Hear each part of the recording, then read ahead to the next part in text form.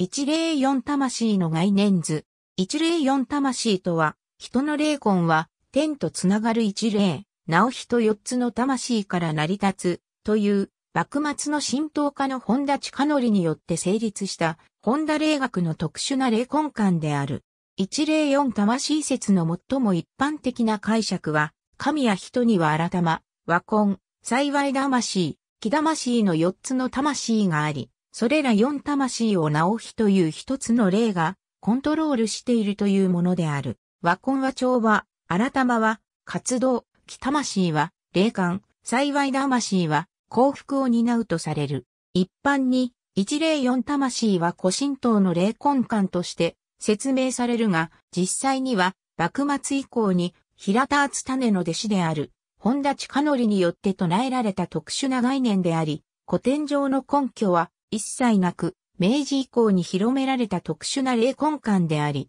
神道辞典などには一霊四魂という名称さえ掲載されていない。各魂の名称は危機などによるもので、日本書紀の神宮皇后摂政前期には、白木政党の際に神宮皇后に和魂は近江に服して、寿命を守らむ。改まは、先方として、死生を導かむという信託があったとある。また、神代には、大国主命のもとに、我はこれ何時が、幸い魂木魂なりという神が現れ、三輪山に祀られたとある。古事記では、神宮皇后が、墨の江大臣の荒御玉を国主神として、白木に祀ったとある。だが、それらの記述には、神には四魂があると、故に、それらは、別個に活動することがあるとまでは言えるが、四魂があるとは言えない。一例四魂説は、本田近則とその後継者たちの神学的な解釈から生み出されたと見ることもできる。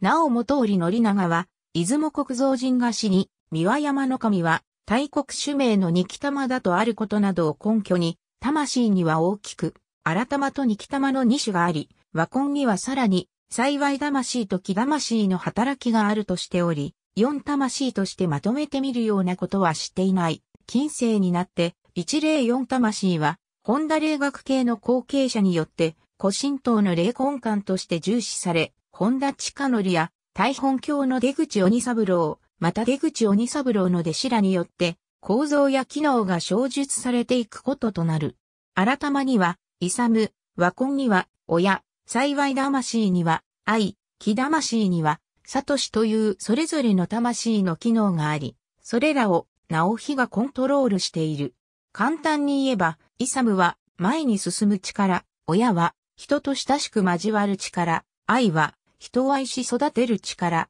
サトシは物事を観察し分析し、悟る力である。これら四つの働きを、直日がフィードバックし、両親のような働きをする。例えば、サトシの働きが行き過ぎると、あまり分析や評価ばかりしていると、人に嫌われるよという具合に反省を促す。つまり、この直日は、帰り見るという機能を持っている。悪行を働くと、直日は、極霊となり、四魂の働きは邪悪に転ぶとされる。イサム改ま、イサムは、改まの機能であり、前に進む力である。勇猛に前に進むだけではなく、耐え忍びコツコツとやっていく力でもある。行動力があり、外交的な人は、改まが強い。親は今二つ目の魂の機能は二木玉であり、親しみ交わるという力である。その機能は、一時で表現すれば、親である。平和や調和を望み神話力の強い人は、和魂が強い。